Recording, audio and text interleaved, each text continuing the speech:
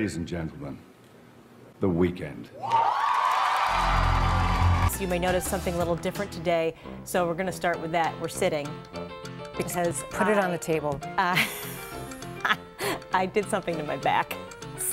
So I'm real uncomfortable today. Oh. And it's real embarrassing. I did write about this, and some of you know this already, but I basically was sitting too long writing on the porch yesterday. So I have reached that threshold now where I've injured myself sitting on my tuckus. so anyway, that's that's how our Monday is starting. So we get the latest now from Channel 2's Dave McKinley. Hey, Dave. Hi, Kate, and I see that's something you simply won't stand for today. It's an invasive species from Asia. It's kind of a attractive little thing. Like you said, we're not going to stand for it. That's right, not today anyway. Not today, anyways. Hmm. A couple rounds on the tilt-a-whirl, we'll be ready to go. There you go. Yikes. Last night, Kate, the storm started coming in. I grabbed my camera. I go, oh, watch this. Watch these poor birds trying to fend against the wind. Look at that rolling in. Yeah, the wind really picked up. And now watch this. You're going to see the sky change.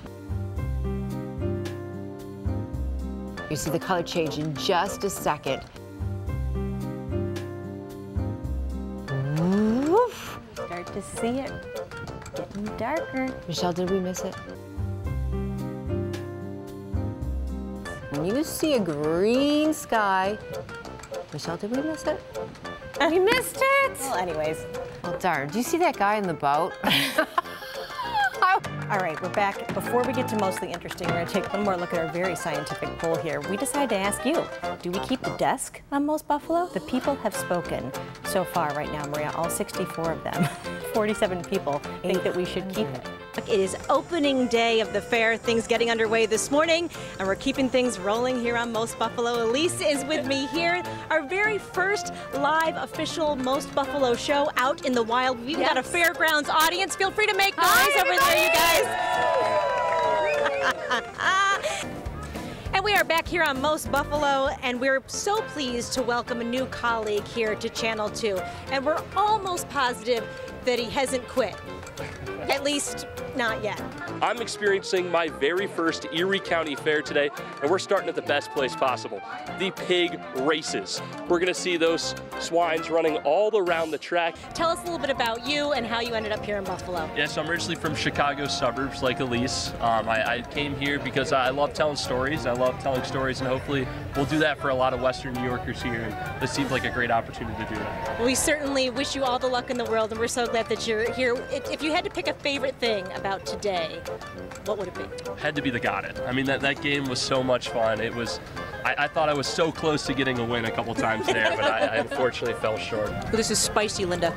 It is a little spicy. Woo! I like it though. I don't get it. I don't either. Listen, I just read this stuff. Sorry. Michelle, Michelle says we sound old. we sound I old. know I am old. You kids. I Michelle's in her ear going, you kids get off my lawn. It's so true. Hey, do you remember baby Fiona? Yeah. The hippo? Well, she was all the rave a few years ago, but now she has a sibling who's stealing the spotlight, as they like to do. And we also know the gender. We've got the best gender reveal probably ever. I think we see it. Nice. Maria. So anyway, we're bringing you along with us on this journey. And if you're watching this, uh, Mom, I love you. And um, we'll hopefully see you next time.